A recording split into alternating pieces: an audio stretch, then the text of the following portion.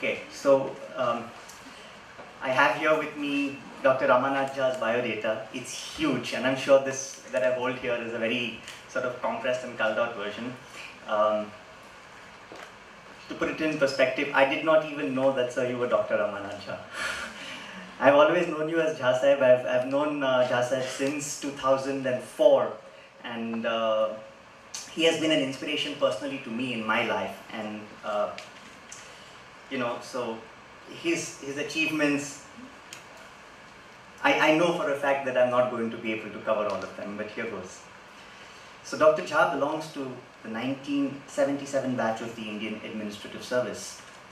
In the 80s and the 90s, he worked as the administrator for Pandharpur Municipal Council, administrator and municipal commissioner for Solapur Municipal Corporation, collector and deputy collector, municipal administration, Ahmednagar Municipal Corporation, the municipal commissioner for Pune Municipal Corporation, and the Metropolitan Commissioner of the Mumbai Metropolitan Region Development Authority.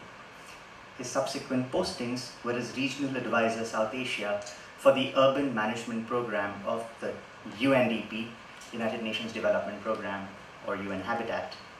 He was Vice Chairman and Managing Director of the MSRDC and Principal Secretary Transport, Ports and State Excise for the Government of Maharashtra he received the state government's Chinmulgund Award for Administrative Excellence in 1989. He sought voluntary retirement from the government in 2008 and joined the private sector as Chief Executive Officer and Managing Director, KHED Economic Infrastructure Private Limited. He is currently, as some of us may know, the chairman of the Mumbai Heritage Conservation Committee, and as all of us know, the officer in special duty for the revision of the development plan at the Municipal Corporation of Greater Mumbai. Dr. Jha was a member of the expert committee for the preparation of the Model Municipal Law commissioned by the Government of India, member of the expert panel for property tax reform in Delhi, member of the expert panel for National Urban Awards instituted by CRISIL, and chairman of the committee of the Government of Maharashtra for framing the bill on Metropolitan Planning Committee he co-authored a book towards people-friendly studies published by UNICEF and urban essays published by YASHADA, Yashwantrao Chavan Academy for Development Administration in Pune.